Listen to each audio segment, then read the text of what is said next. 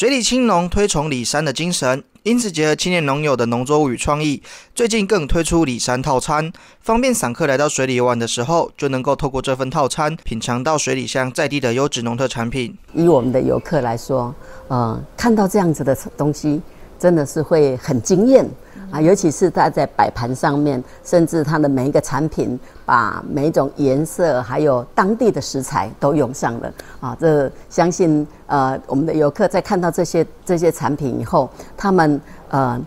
开心，然后想要去享用它的那个心会很开心。从农地到产业的啊，到那个餐桌上的这样一个演出呢，又加上了他们最近又把音乐也结合进来哈，所以更能够看出呢啊，这个青农啊，他在整个啊这样一个地方的一个永续经营的这一块呢，他们是真的很积极的投入。那我们也看到他们的成果的展现也非常的好。精心的设计摆盘，让在地研发的餐点不仅好看，也好吃又健康，追求近零碳排的目标。今天是我们特别准备的里山餐桌，然后今天是有啊文化部部长他们长官有过来，然后我们就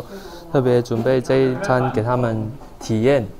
那我们食材都是由我们在地青农所准备的彩椒啊、香菇啊、柠檬啊，然后他们。